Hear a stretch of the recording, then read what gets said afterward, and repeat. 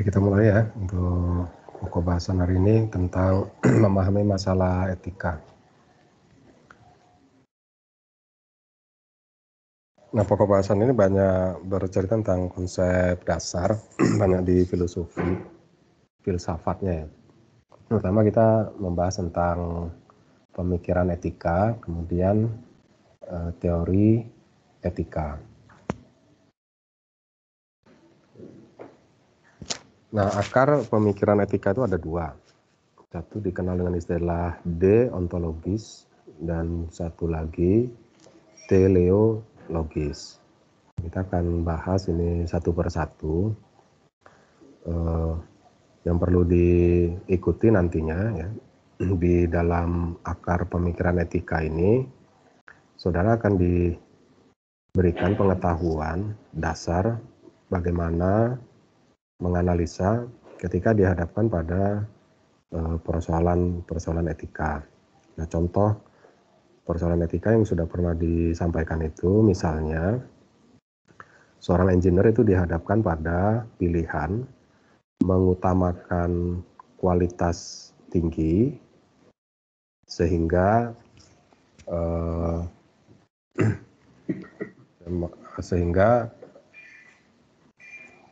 masyarakat publik itu jadi aman atau uh, seorang engineer itu harus mengorbankan kualitas untuk mengutamakan mendapatkan keuntungan yang besar. Tetapi resiko keselamatan publiknya itu menjadi lebih rendah. Meskipun uh, masih dalam tahap aman ya digunakan, tetapi sudah tidak 100% lagi, tidak zero accident Nah, itu bagaimana cara kita memahami e, masalah etika ketika saudara sebagai seorang engineer itu dihadapkan pada fenomena atau pada situasi untuk mengambil sikap ya. Nah, di sini akar pemikiran etika itu deontologis dan uh, teleologis.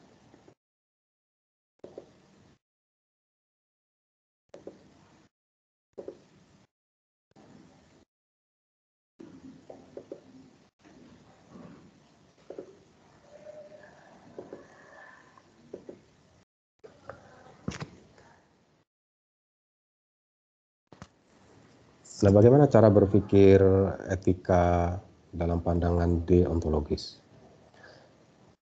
Nah, etika deontologis itu bicaranya dia benar atau salah.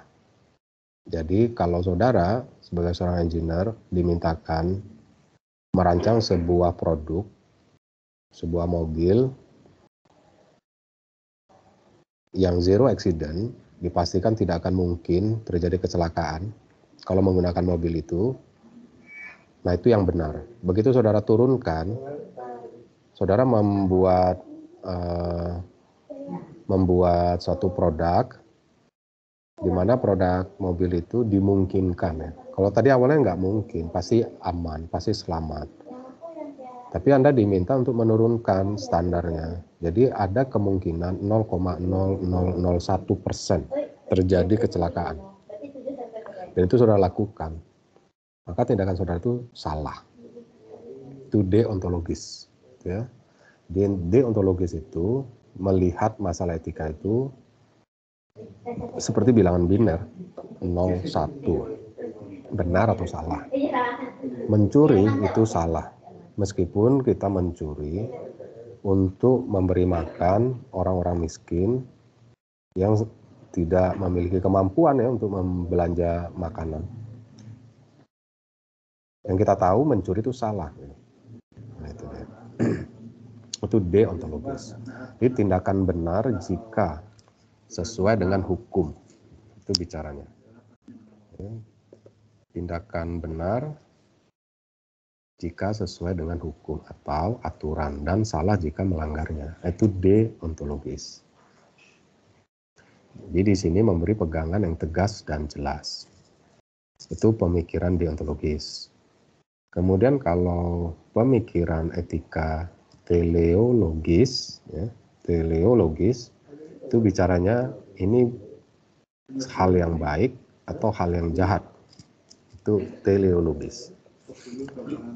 Tindakan dinilai sebagai baik jika tujuannya baik atau jahat jika tujuannya jahat. Contohnya, mencuri di mana barang yang dicuri itu dibagi-bagikan kepada rakyat miskin, itu adalah tindakan baik bagi teleologis. Nah, padahal itu melanggar aturan, tapi teleologis menganggap itu sebagai tindakan yang baik. Gitu. Nah, Anda eh, misalnya berceramah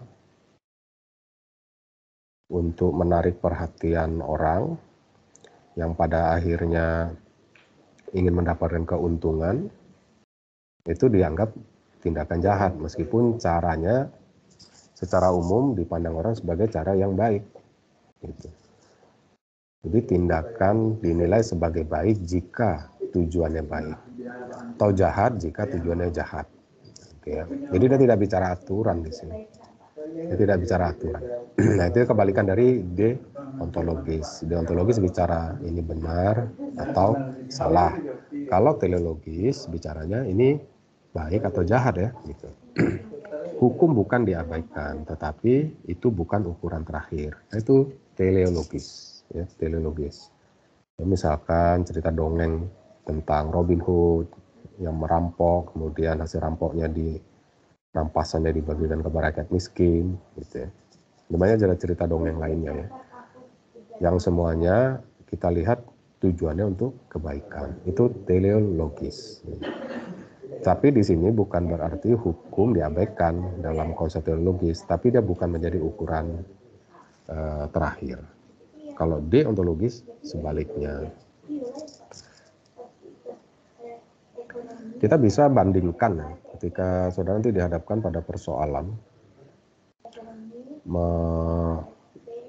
mengerjakan satu proyek engineer sebagai seorang insinyur itu nanti akan dihadapkan pada fenomena deontologis maupun teleologis itu. Karena akan bicara benar salah. Menurut hukum yang saudara lakukan itu salah. Tapi kalau saudara ya, tapi saudara yakin kalau ini dilakukan akan banyak kebaikan. Nah, saudara mau pilih yang mana itu? Tetap melanggar hukum atau mengutamakan kebaikan? Nah, itu kan situasi dilematis. Itulah ciri-ciri persoalan-persoalan etika. Dia abu-abu gitu ya abu-abu.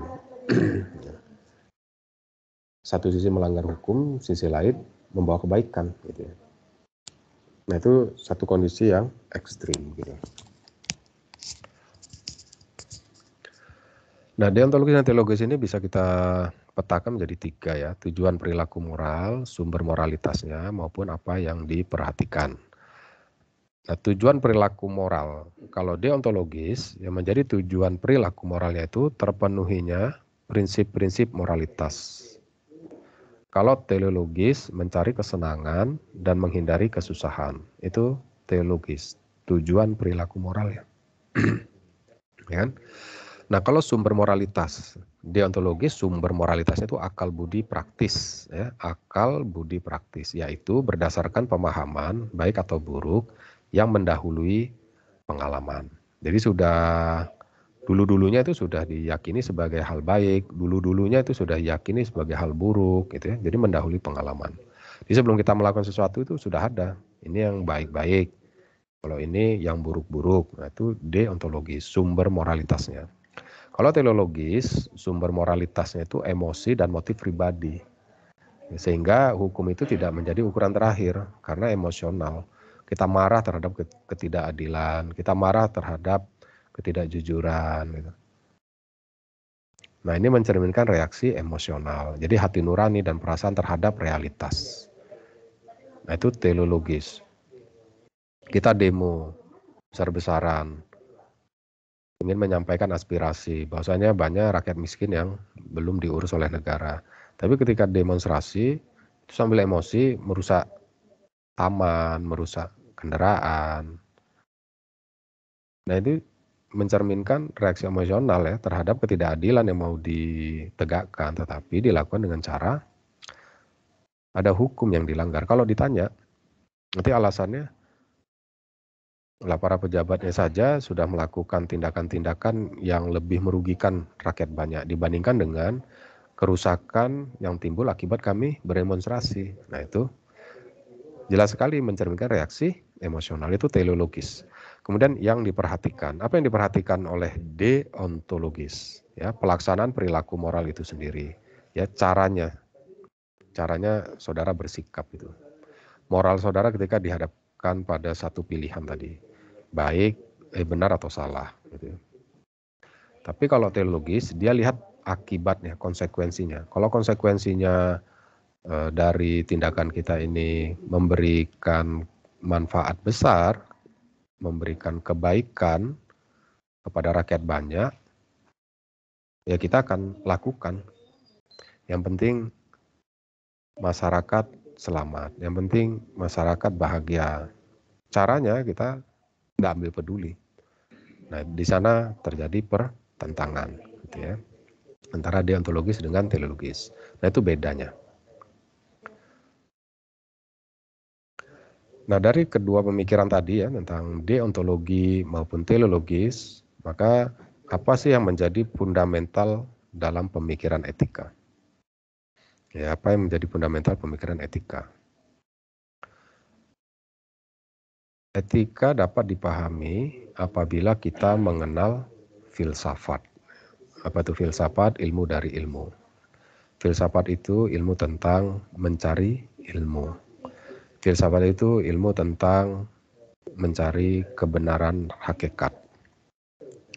Nah, jadi e, untuk sementara saudara tidak boleh memposisikan deontologi dan teologi itu sebagai sebuah pilihan. Ini nanti diikuti dengan benar dulu ya, dengan baik ya, supaya kita bisa wisdom, bisa bijaksana ya dalam menghadapi satu situasi. Sebab dalam dunia engineering kita itu akan dihadapkan pada situasi di mana pilihan-pilihan yang kita harus pilih itu dilema ya. Satu sisi dia baik, tapi sisi lain itu salah karena melanggar hukum. nah mana sih yang mau didulukan? Nah kita bisa saja berargumentasi hukum itu dibuat oleh manusia. Dan manusia yang membuat hukum itu adalah sekelompok orang. Dari mana kita bisa yakin bahwa hukum yang dirumuskan oleh manusia dan oleh sekelompok orang terbebas dari kepentingan tertentu. Sehingga tindakan kita yang melanggar peraturan itu ya belum tentu melanggar peraturan yang hakikat Nah ini menjadi berbeda ketika saudara bicara peraturan yang disebutkan di dalam kitab suci. Kita di situ tidak bisa lagi bicara deontologis dan teleologis karena sudah mutlak absolut ya. Tapi kalau kita bicara peraturan yang dibuat oleh sekelompok orang dalam pandang deontologis itu wajib kita ikuti ya undang-undang dasar, undang-undang, peraturan presiden, peraturan daerah, keputusan presiden, dan semua peraturan-peraturan yang berkaitan dengan ketatanegaraan dalam pandangan deontologis wajib saudara patuh. Tetapi teologis dia memberi catatan, tunggu dulu. Nah kalau peraturan itu menyengsarakan masyarakat, jangan diikuti Nah, dia berani menempatkan hukum itu bukan ukuran, tapi baik atau tidak baik dari pelaksanaan hukum itu. Gitu. Nah, apa itu filsafat? Terdiri dari kata pilo dan sopia. Nah, pilo itu cinta, sopia itu kebenaran. Jadi filsafat itu orang-orang yang mencari ilmu pengetahuan karena mencintai kebenaran. Makanya perhatikan filosof-filosof. Itu kebanyakan orang-orang yang berusaha bersikap bijaksana dia ketika dia dimintai pendapat ya, oleh raja, oleh pejabat negara, itu para filosof. Ya, karena filosof itu berasal dari kata filo dan sopia, jadi bicara uh, cinta kebenaran. itu asal muasal kata filsafat. Kemudian filsafat itu bisa kita golongkan. Ya, penggolongan filsafat itu terdiri dari logika, ilmu tentang logika. Ya, contoh yang paling populer itu silogisme. Si Ali berambut keriting.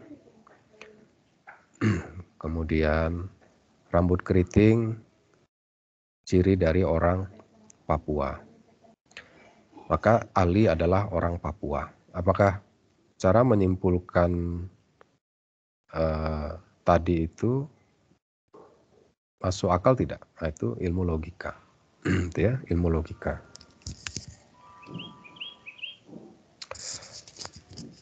Kemudian penggolongan filsafat yang kedua itu metodologi tentang bagaimana cara kita menemukan sesuatu.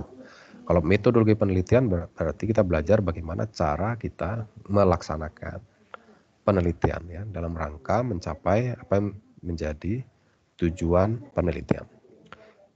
Kelompok ketiga itu metafisika. Ini populer ini ya. Tapi metafisika itu tidak boleh dikaitkan dengan ilmu perdukunan. Metafisis. Jadi di atas fisika. Hmm. Lebih dari sekedar fisik science yang kita pelajari. Jadi ini memang e, kalau fisik itu kan artinya e, fisik. Ya. kalau metafisika lebih dari sekedar fisik. Kemudian ontologi, kemudian kosmologi, kemudian epistemologi dan etika. Jadi etika ini memang bagian dari eh, kelompok-kelompok uh, kajian dalam filsafat. Nah kita tidak perlulah mendalami logika, metodologi, metafisika, ontologi, kosmologi, epistemologi itu uh, di bidang pasca sarjana itu yang akan mendalaminya ya. Uh, kalau saudara nanti cari sendiri, baca-baca sendiri untuk nambah wawasan saja. Berikutnya, etika berpangkal pada perbuatan baik dan benar. Nah, ini harus diperhatikan. Akhirnya, ya akar pemikiran etika tadi kan deontologi, bicara benar salah. Teologi, bicara ini baik atau jahat. Nah, etika itu wisdom. Anda dikatakan beretika apabila bertindak baik, ya, bertindak yang mengakibatkan kebaikan dengan cara yang benar. Nah, itu etika. Bicara bicaranya atau uh, mewujudkannya itu menghasilkan sesuatu yang membawa kebaikan dengan metode atau cara yang benar. Itu etika. Jadi kelihatan kan wisdom ya. Karena kalau filsafat ini ya bicaranya ya tentang kearifan. Ya, bagaimana seseorang itu arif dan bijaksana. Etika adalah studi tentang pengembangan nilai moral untuk memungkinkan terciptanya kebebasan kehendak karena kesadaran. Nah itu kira-kira uh, pengertian dari apa itu etika, yaitu sebuah studi ya, sebuah kajian, sebuah pemikiran tentang apa? Tentang pengembangan nilai moral. Ya, bagaimana kita menciptakan nilai moral? Kenapa kita ingin menciptakan nilai moral? Untuk menciptakan kebebasan berkehendak, ya karena kesadaran. Jadi saudara dalam pandangan orang-orang eh, tertentu dia bebas saja berkehendak. Dia sadar melakukan itu. Ya sadar. Tapi dalam etika, kebebasan yang sudah lakukan itu harus punya nilai moral ya. Nilai moral ya. Ya kan banyak sekali kasus-kasus uh, sosial yang dihadapkan tentang kebebasan. Kebebasan berpendapat itu masuk juga nih kebebasan kehendak karena kesadaran ya, kebebasan berpendapat. Tapi kebebasan berpendapat itu juga harus didukung oleh nilai moral. Apakah kita mencaci maki orang kategori kebebasan berkehendak? Iya, tapi itu tidak punya nilai moral. Jadi makanya di dalam beberapa aksi-aksi demonstrasi mahasiswa begitu kita menghina seseorang, maka hukum bisa ditegakkan. Biasanya saat itu Anda sedang tidak melaksanakan kebebasan berpendapat, tapi sedang menghina orang lain. Nah, itu ada diatur dalam undang-undang uh, hukum pidana. Ini harus dibedakan. Yang dimaksud kebebasan berkendak adalah keleluasaan kita untuk memberikan pendapat. Ya. Berbeda dengan uh, menghina orang lain. Kenapa? Karena di sini ada nilai moral. Nah, di situlah etika itu melakukan kajian Bagaimana nilai moral ketika kita berpendapat? Bagaimana nilai moral ketika kita berdebat? Bagaimana nilai moral ketika kita mendesain? Bagaimana nilai moral ketika kita berinteraksi dengan banyak orang? Nah, itu kajian etika. Nah, urutan-urutannya ya ketika etika itu muncul, asal muasalnya dari mana? Ini nilai dan perilaku manusia. Jadi etika itu kan e, mencerminkan perilaku manusia. Etika itu muncul asal muasalnya dari moral. Moral, sebuah moral itu muncul dari norma. Norma muncul dari nilai. Nah, makanya ada di sekelompok masyarakat bisa menolak ya etika tertentu. Kenapa? Karena memang etika yang mereka anut itu berasal dari moral yang mereka anut. Moral yang mereka anut berasal dari norma-norma adat istiadat yang mereka yakini asal muasalnya. Jadi bisa saja berbeda. Nah, di sana yang perlu dipahami makanya di asal muasal pemikiran etika itu tadi deontologi dan tele, teleologi. Itu yang harus kita pahami. Oleh karena itu, saudara tidak boleh ketika berpen, ketika berinteraksi dengan sekelompok masyarakat berbeda langsung mengatakan masyarakat itu masalah tidak beretika. Tidak bisa. Kenapa? Karena etika yang mereka anut itu berasal dari moral mereka. Nah, itu bisa saja berbeda dengan kita. Maka di situ kita perlu wisdom, gitu ya. Bahwasannya segala sesuatu itu asal muasalnya deontologi dan teleologi. Nah, kita harus berusaha memahami itu, ya. sehingga orang-orang uh, yang memiliki pengetahuan cukup tentang etika, dia akan bersikap uh, bijaksana. Kemudian kita bicara apa itu nilai, apa itu norma. Ya, apa itu nilai dan apa itu norma. Definisinya nilai adalah sesuatu yang memberi makna hidup yang dijunjung tinggi, yang mewarnai dan menjiwai tindakan atau perilaku seseorang. Itu nilai, sesuatu yang memberi makna hidup.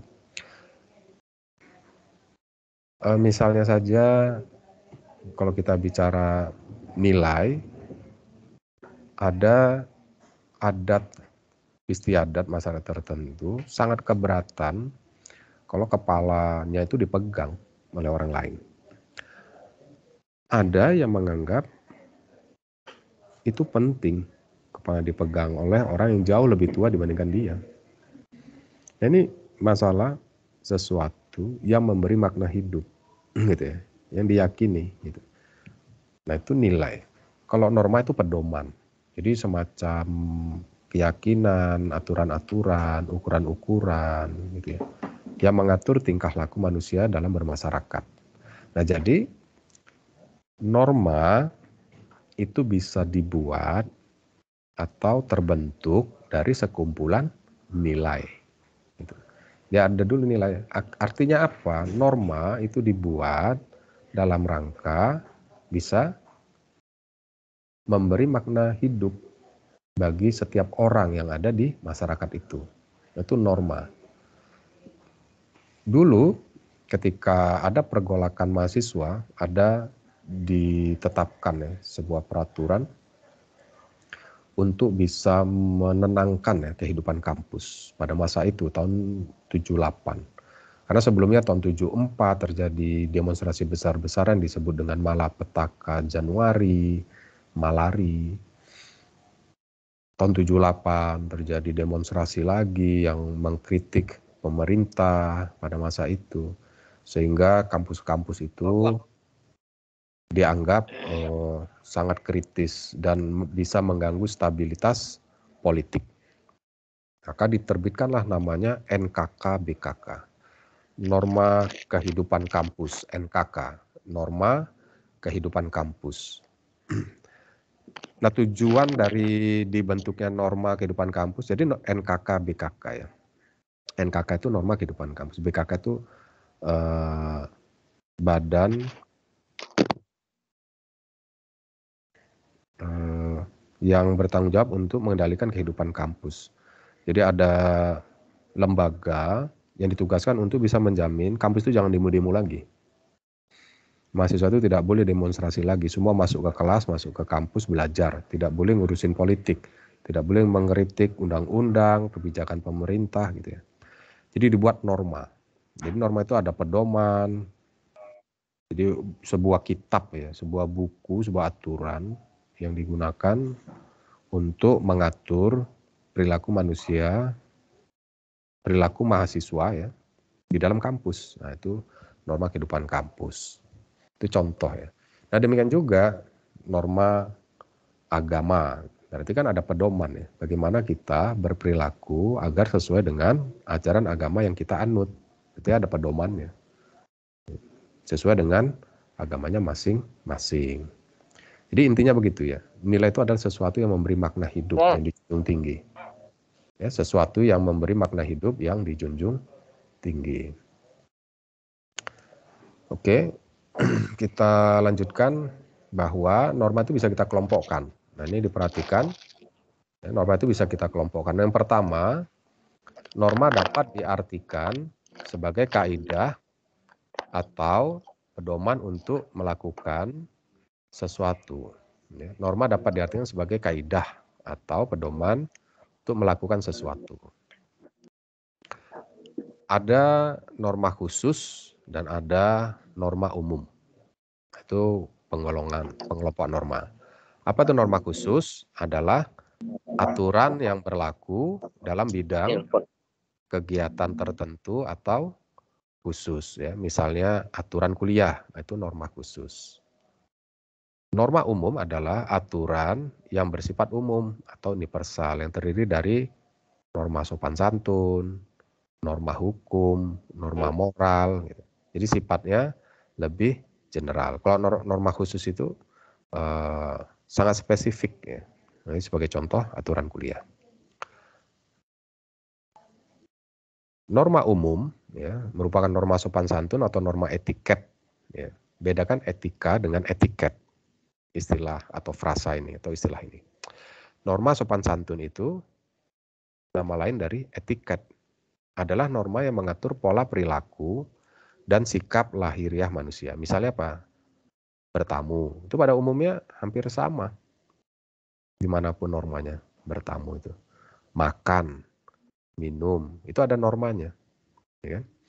Kita kalau lihat orang makan, berdiri, cerita-cerita, ketawa-ketawa sambil menyuap nasi, ada rasa yang tidak pas di sana.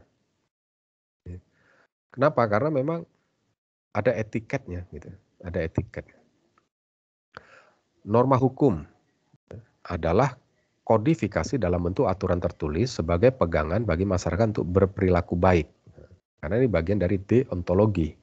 Itu norma hukum atau sebagai pedoman untuk menjatuhkan hukuman. Contohnya Undang-Undang Dasar, KUHP itu kategori norma hukum. Kalau norma sopan santun tadi bertamu, makan, minum, ya ini bagian dari norma umum.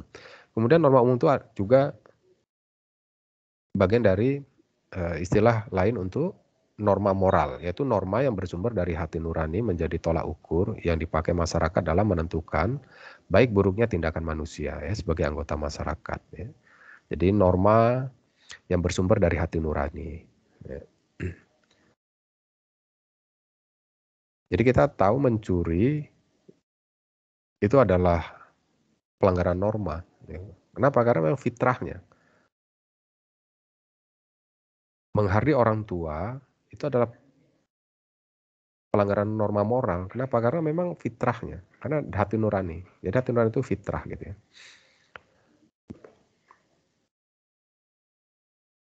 Nah kita sudah bicara tadi uh, menyinggung istilah moral. Apa sih sebenarnya moral itu?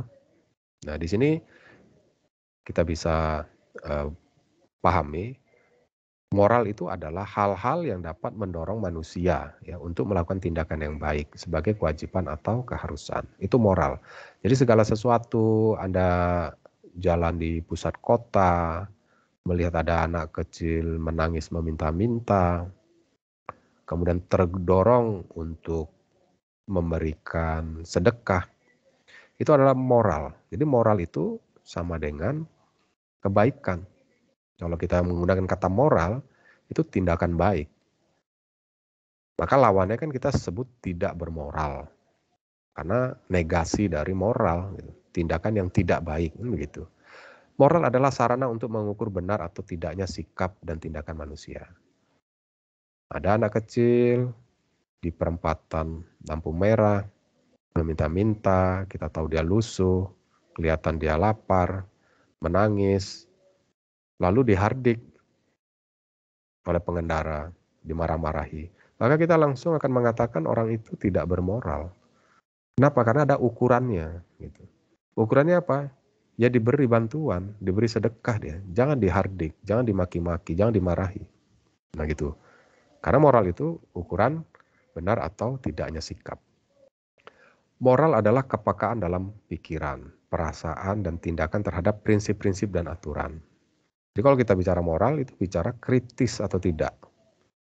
Jadi sikap seseorang yang peka terhadap sebuah situasi itu ekspresi dari tindakan bermoral. Jadi orang yang bersikap kritis menyampaikan pemikirannya itu ada orang-orang bermoral. Kita tidak boleh tersinggung. Karena itu merupakan tindakan bermoral. Kenapa? Karena moral itu kepekaan. Kepekaan dalam apa? Dalam berpikir. Dalam bertindak ya, terhadap prinsip-prinsip dan aturan. Jadi kalau ada kebijakan pemerintah, kemudian ada yang mengkritisi, pemerintah itu tidak boleh marah. Kenapa? Karena yang mengkritisi itu tentunya disampaikan dengan cara bahasa yang objektif ya, tidak menghina, tidak merendahkan pribadi seseorang. Itu tindakan bermoral. Jadi saudara mengkritik itu ada tindakan bermoral.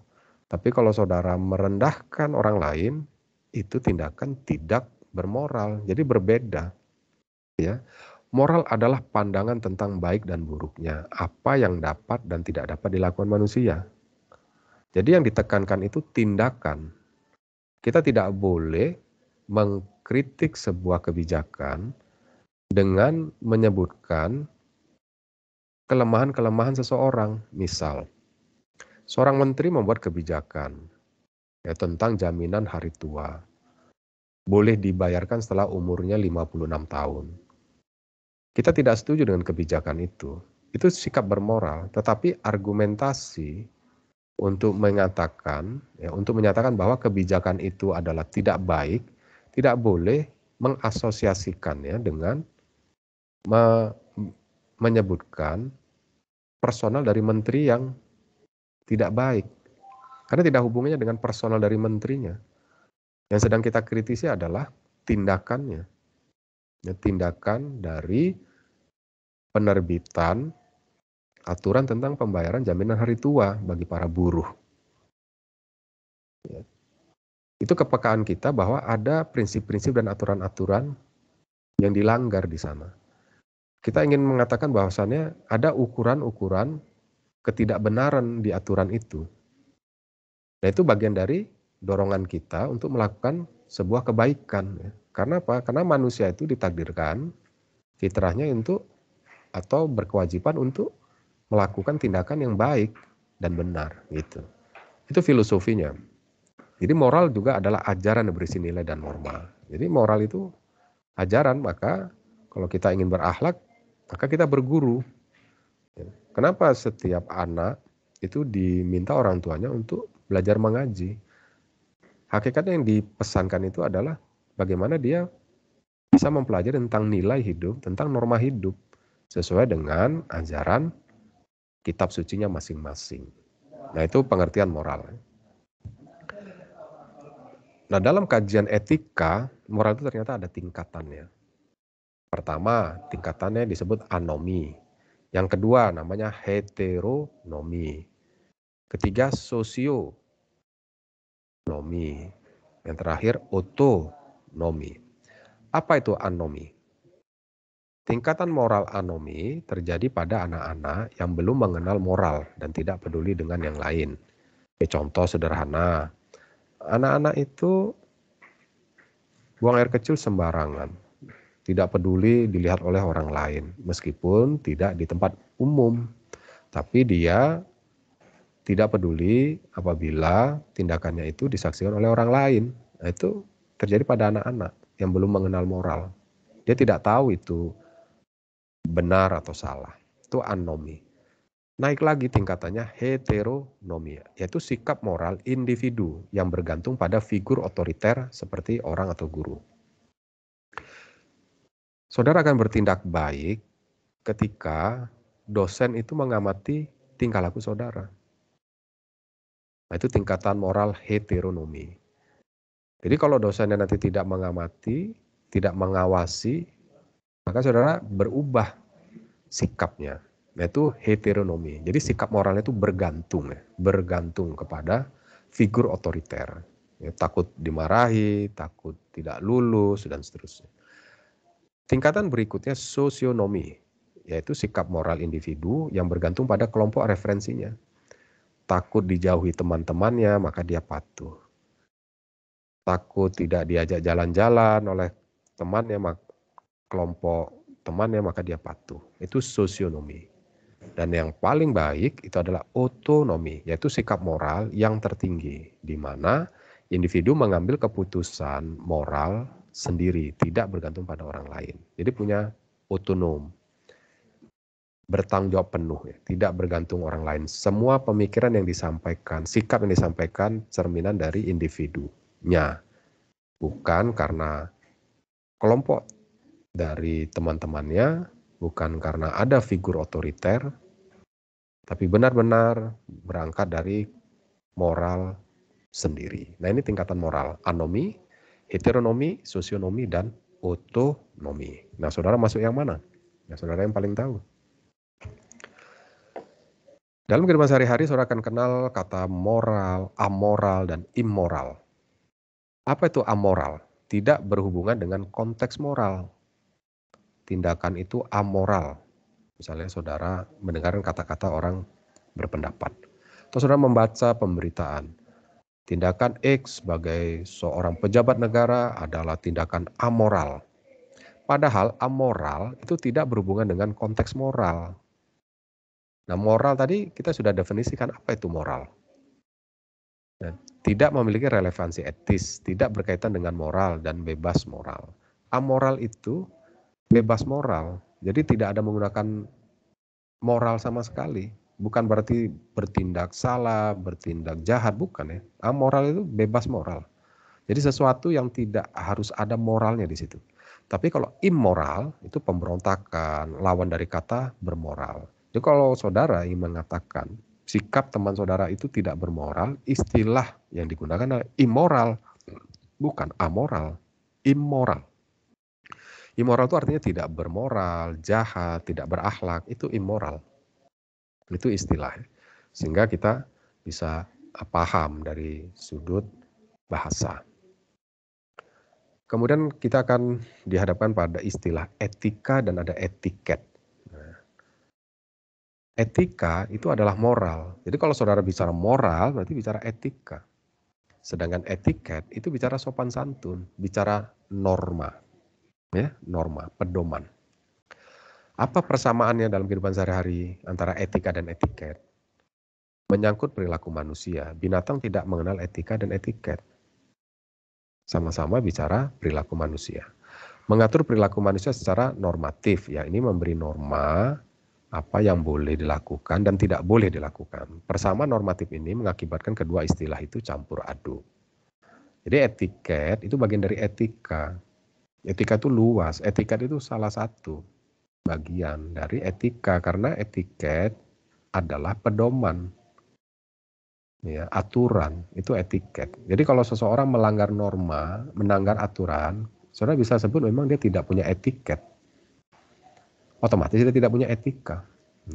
Tapi etika itu bukan hanya masalah pedoman, bukan masalah norma saja gitu. Etika itu lebih dari sekedar pedoman. Karena etika itu adalah studi ya, tentang bagaimana kita bertindak secara sadar yang membawa kebaikan dengan cara yang benar. Ini sebuah studi. Mengapa lahir kajian etika? Nah, kenapa ilmu etika itu lahir? Pertama kita dihadapkan pada dilema moral. Nah ini sering saya ilustrasikan. Ya, seorang engineer itu akan selalu dihadapkan pada dilema moral. Ini tetap dibuat atau enggak ya? Kalau dibuat nanti masyarakat ada yang celaka. Kalau saya kalau ini tidak dibuat seperti ini, perusahaan jadi rugi. Nah, dilema moral itu asal muasalnya dulu. Ini baik tapi tidak benar. Ini benar tapi kok tidak mau kebaikan. Dilema moral. Maka lahirlah kajian etika.